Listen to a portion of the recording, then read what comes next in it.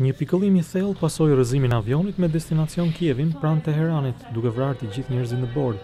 Përballë presionit ndërkombëtar, autoritetet iraniane kanë premtuar një hetim të plotë. Deri më tani qeveria ka njoftuar arrestime, por nuk ka dhënë hollësi.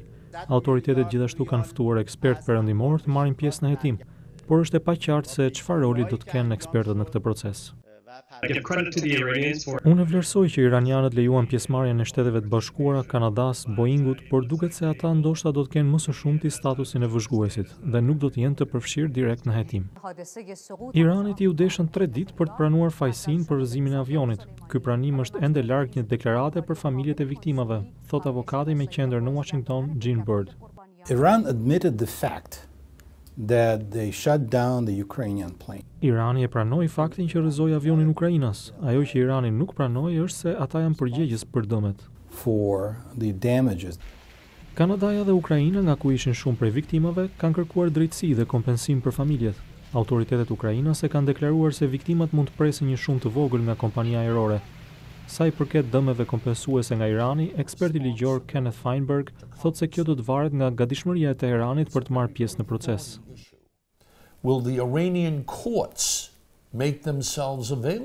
A do të vihen gjykatat iraniane në dispozicion të procesit gjyqësor për të gjykuar çështje kundër Iranit?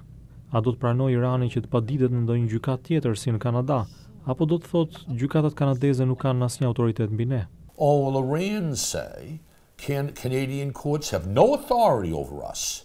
Zoti Feinberg, i cili mbikëqyri pagesat e kompensimit për viktimat e sulmeve terroriste të njëmbëdhjetë shtatorit, thotë se suksesi në këto raste varet nga gatishmëria e palës fajtore për të pranuar detyrimet e saj ndaj viktimave. There is also a fundamental question whether Iran. Ekziston gjithashtu një pyetje themelore, nëse Irani, si pjesë të pranimit të fajësisë, do ta pranojë përgjegjësinë e tij që të paktën të krijojë një fond të veçantë kompensimi, siç bëri Boeing, dhe qeveria federale këtu në Shtetet e Bashkuara pas njëmbëdhjetë shtatorit. Federal government here in the United States did after nine eleven. Dëmet kompensuese luajnë një rol të rëndësishëm në pranimin e humbjes, dhimbjes dhe vuajtjes, por nuk ka asnjë mënyrë për të kompensuar tragjedinë, thotë Feinberg. very hollow, it's very unsuccessful. The idea that money as a substitute for loss.